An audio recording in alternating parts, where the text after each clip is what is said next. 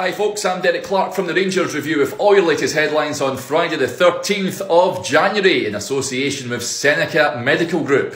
First, and Rangers boss Michael Beale says he's confident of making his first signings as Rangers boss in the coming days. He was asked about Todd Cantwell following reports he could be moving to Ibrox. He says he's a player he likes a lot and has a lot of ability and expects a lot of interest in him.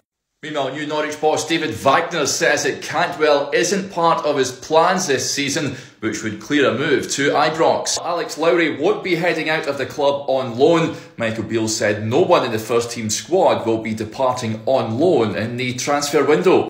The Rangers manager also gave an update on the injured players. Antonio Colak is touch and go to face Aberdeen on Sunday. Ridvan is three to four weeks away. Tom Lawrence is going through individual rehab, while John Souttar and Ianis Hagi should return against St Johnstone at the end of the month.